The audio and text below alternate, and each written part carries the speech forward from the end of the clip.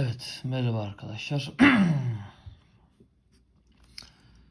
evet, ürünümüzü görüyorsunuz. Böyle bir tanıtım videosu çekelim istedik. Şöyle sağını solunu, arkasını, yan tarafları da böyle güzelce bir gösterelim.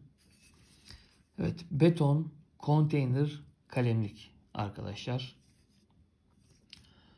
Sahada bulunan arkadaşlarımız çoğu zaman konteyner ofislerde kalmışlardır diye düşünüyorum ki biz de zamanında hep konteyner ofislerde kaldık.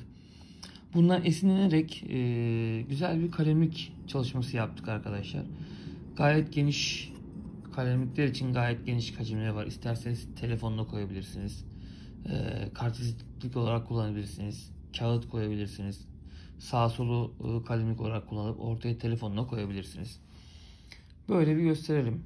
Hmm, yakın video oldu biraz da güzel oldu pencerelerimiz, kapılarımız. Şöyle altına da arkadaşlar özellikle genelde hani masalarımız ahşap, ahşap yüzeyleri konulacağı için altına 4 tane kaydırmazımız bulunmakta. Bu sayede ahşaplarınıza çizilmiyor. Evet.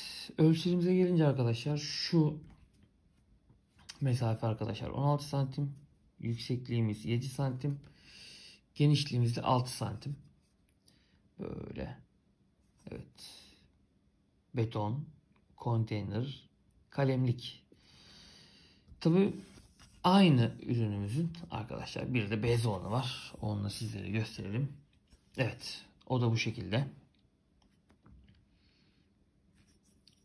Onda değişen hiçbir şey yok.